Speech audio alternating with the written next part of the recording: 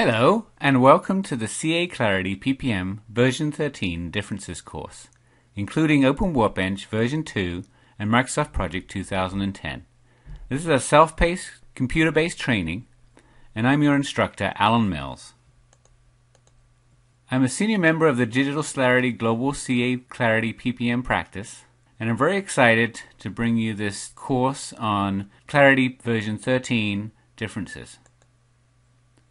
Our curriculum for today is accessing the applications menu, navigating the application, configuring the favorites menu, editing data using the inline editing capability, using auto-suggest to select values for fields, the new object submenus, page button changes, the interactive Gantt, and assigning resources to tasks from the resource pool. We'll also look at the task and assignments view, and we'll see Open Workbench version 2 differences and Microsoft Project 2010 differences. Throughout this course, I will be showing screenshots from the previous versions of Clarity to compare them to the new screenshots from Clarity version 13. As you can see here, this is the login page from Clarity version 12. And I can then see the new login page for Clarity version 13. You log in the same way using the username and password. And in this slide, we see that the older version of Clarity had the application menu displayed on the left-hand pane within the application. Now, the application menus are at the top of the page, and when they're not in use, the menu headings are all that you see. To access the specific items within the menu, you display them by hovering over the menu itself with the cursor and then moving to the specific area that you want to access. In previous versions of Clarity, the title bar included several icons with links. In Clarity version 13, the title bar includes basic links and icons. At the top of the page, there's a logout link, a help link, and an about link. On the toolbar, there are icons for refreshing the page, for the home page, for your current timesheet, and for searching. The portlet itself has a toolbar that includes icons for exporting to Excel, exporting to PowerPoint. You also have an icon that allows you to personalize your options and an icon to manage the tabs on that specific page. There's also a new back button and recent button in Clarity version 13 the back button takes you back to your previous page that you accessed most recently. The Recent button lists the previous pages you've accessed during the session, and you can click on the link to return to the specific page. In Clarity version 13, some other changes to navigation are changes to the filter option, in previous versions of Clarity, you would collapse and expand the filter. Now you use the plus on the left-hand side of the page to open up the filter and then minus to close down the filter when you've finished. Also, there's an Actions drop-down where you can configure the page that you're on. And a progress indicator can be used to update the page and show you that um, progress is being made on that particular page. Some of the changes from version 12 to version 13. The font settings option has been removed from the Actions setting page. Now, to change the font, you simply do Control plus to increase the size of the font and Control minus to decrease the size of the font.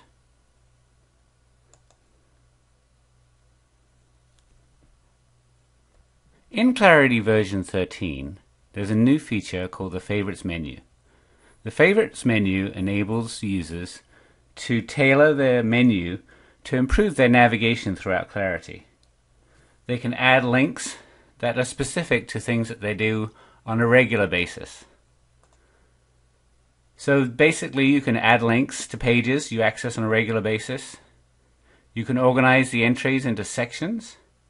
And you can create links for actions such as creating a project or running a report.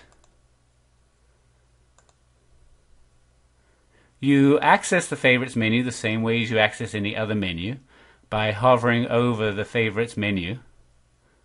And then you can use the specific buttons at the bottom to add your current link, to manage the menu items and sections, and to refresh the page.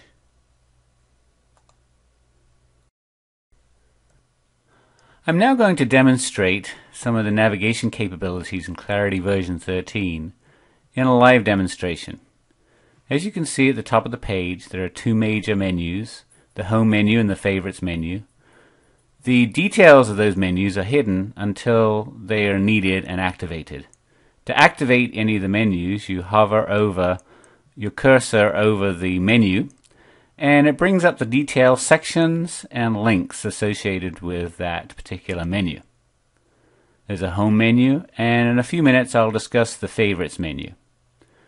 Also on the left hand side of the page, there's a back button that takes you back to the previous page that you accessed. And then there is a, a recents button that lets you go back to a specific page that you've accessed during this session. I'm now going to review the functionality of the new favorites menu. To add a new page to the favorites menu, simply go to the page that you want to add.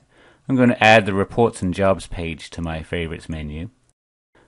I'm going to go to my favorites menu itself, hit add current,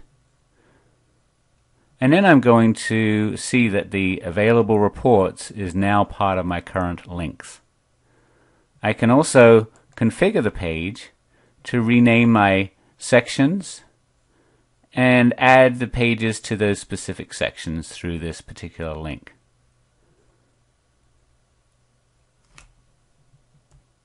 The inline editing capability in Clarity version 13 enables data insertion and data updates faster. The inline editing capability is used on list pages and it replaces the edit mode from previous versions of Clarity. When you update the page, you click on the item that you want to update. And once you move from the field and you've updated a particular field, there is a red triangle that displays on the top left hand corner of that field, indicating that that particular field has not been saved. Another feature in Clarity version 13 is Auto Suggest.